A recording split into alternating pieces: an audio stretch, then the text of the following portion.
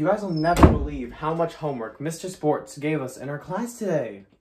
He's so annoying. I don't care about the House of Congress or whatever. Hey, can you be quiet? I'm trying to be an A plus student, unlike someone I know. At least I have friends and don't spend all my time doing homework. Can you shut up? Friends don't get you to college, and at least I know how the government works and I can be a functioning member of society. Are we living in a communist country? You can't tell me what I can or can't do because I have rights. Do you even know what that is?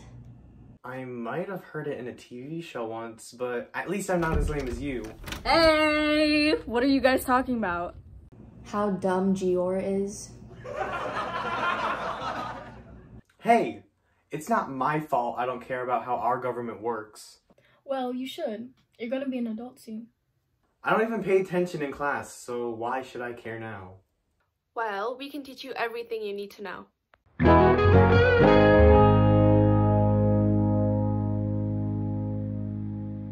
Well, to start, there are many types of governments, and nations all over the world operate under different kinds. Some examples are constitutional monarchies, communism, and aristocracy, all dividing power amongst presidents, prime ministers, and other government officials or political figures differently. The US, however, is a constitutional federal republic in which representatives of the citizen body rules the state and sovereignty rests with the people. It's a little different than a democracy in which the citizens participate directly in the government. Instead, the people elect leaders to make decisions for them. Wait, but how did these governments get created? How did America's become a conclusional farty party? They said a constitutional federal republic, but it wasn't like that always, actually. America became an independent nation after the American Revolution. A formal legal document called the Declaration of Independence was signed in 1776 and announced to the world exactly why the 13 colonies wanted to separate from Great Britain. It basically listed out all the reasons why King George III was a big bad meanie. When Britain signed the peace treaty in 1783, America finally became its own country. But now they had to figure out how the system of government should operate. The first system of government set up by the Continental Congress was the Articles of Confederation. Have you ever heard of it? Um, no. Well, it was just their original government. It was a failure, just like you. Anyways, it was very bad. It only lasted 10 years. Why was it so bad?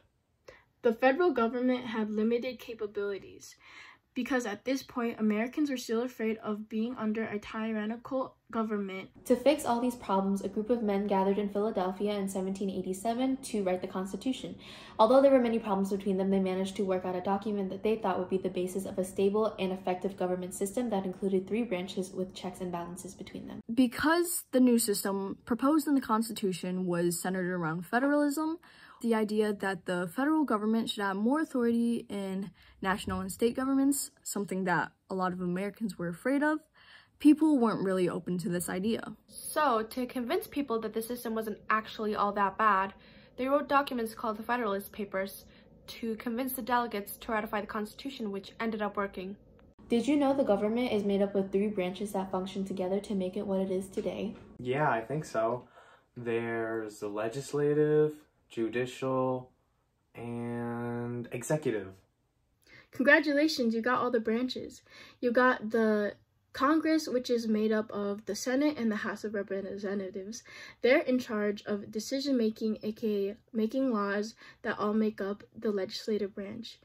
They can remove the president if necessary and reject or accept candidates.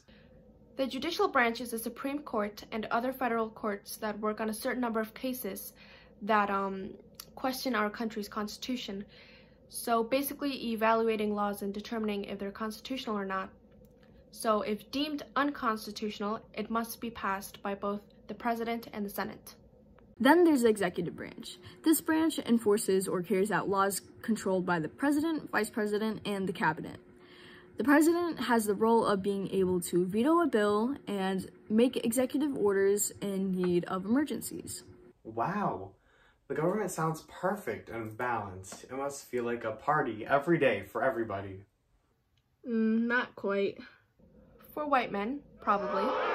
The overall civil rights movement was long lasting but undying. Um, in English?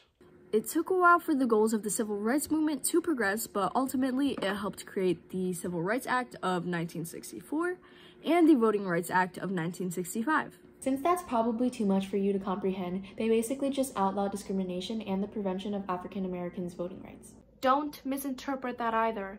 Just because they had the right to vote does not mean that everything was balanced. Even today, there are lots of unjust actions that may just completely ignore history's changes. Oh, yeah, I do remember hearing about that in my class. There are also the First Amendment rights, which state the freedoms of the people. Welcome back to my vlog. Today I want to talk about and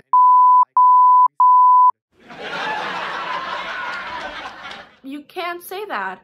That's one of the few government regulations on media, especially if you're going to post that dog. Fine. Hey, this is kind of off topic, but are you guys voting for B.O. Gactus for president? Um, who is that? I've never heard of that person. It's probably because he's never shown in the media. There's absolutely no coverage of him. So I basically don't know anyone in the whole country who's voting for him. Oh, so is this like another example of government regulation on the media? Kinda, but it mostly represents how the media affects our elections. You know what? I actually learned a bit from you. That's a shocker. Hey! Today, I think I learned a very valuable lesson, and I think I want to share it with you too. Uh, you know, I learned a lot about the government today, and I think I might just pass my government exam. We can only hope. Anyways, good luck, America.